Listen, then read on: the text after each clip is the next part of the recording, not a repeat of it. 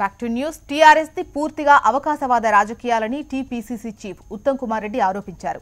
గతంలో మతతత్వ శక్తులకు మద్దతిచ్చింది కేసీఆర్ అని పెద్ద నోట్ల రద్దుపై జీఎస్టీపై ఆర్టికల్ త్రీ సెవెంటీ రద్దుపై బీజేపీకి టీఆర్ఎస్ మద్దతిచ్చిందని గుర్తు చేశారు. సీఏఏపై కాంగ్రెస్ ఆధ్వర్యంలోనే నిరసనలు తెలియజేస్తామని ఉత్తమ్ తెలిపారు. సెక్యులర్ అంశాల్లో రోజుకో రీతిగా టీఆర్ఎస్ వ్యవహరిస్తోందని చెప్పుకొచ్చారు.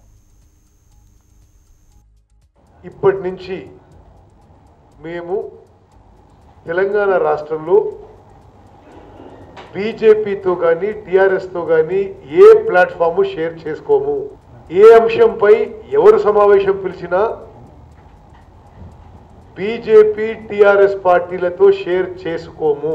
టీఆర్ఎస్ పార్టీ అవకాశవాదంగా ఎక్స్ట్రీమ్ ఆపర్చునిస్ట్గా ప్రజల జీవితాలతో చెలగాటమాడుతుంది.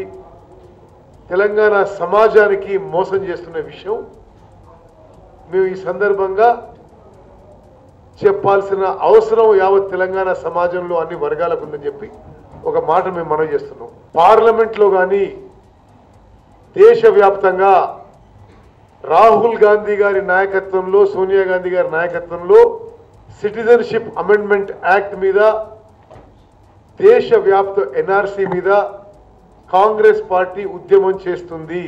దాని భాగంగానే తెలంగాణ రాష్ట్రంలో కూడా మేము ఉద్యమం చేయబోతున్నాము.